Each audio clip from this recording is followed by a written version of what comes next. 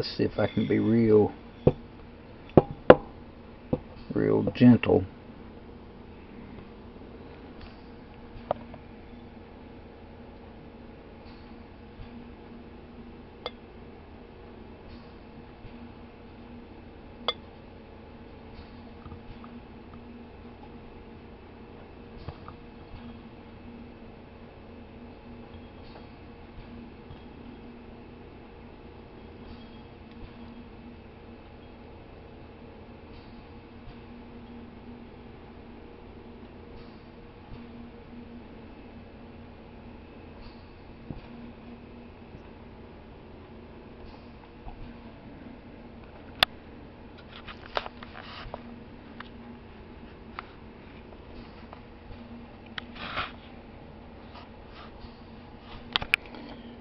Alright, it wasn't quite an ounce. It was almost exactly what uh,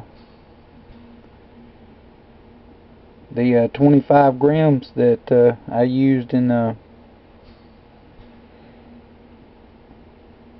well let's see I used 24 mils of nitric acid to complete the dissolution and then I used 25 grams of sodium metabisulfite uh, to, to drop it.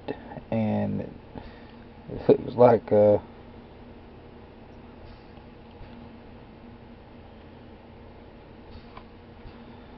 looks like it was just very nearly exactly what it should have been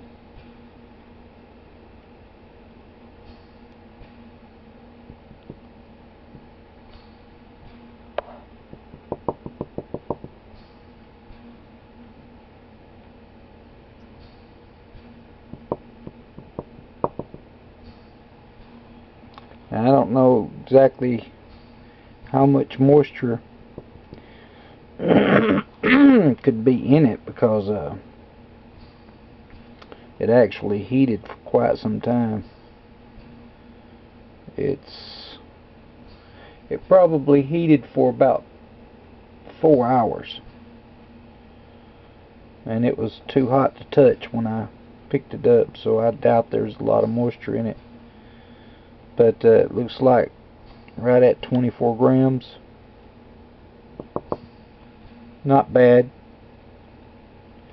It's not exactly the ounce I was hoping for but you know. You don't ever really know what's going to come out of it until it's finally dropped, dried, and weighed. So, anyway, I'm going to try to get it uh,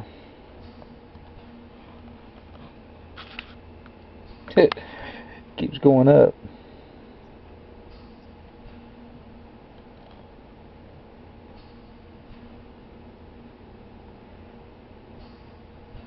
Well, these scales is about 10 years old, so and I think they probably need to be calibrated again.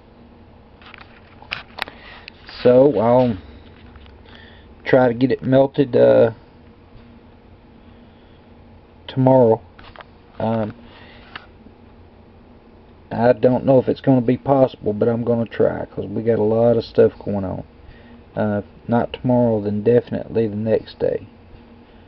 I get it melted up, poured in a bar. We'll find out what it uh, what it looks like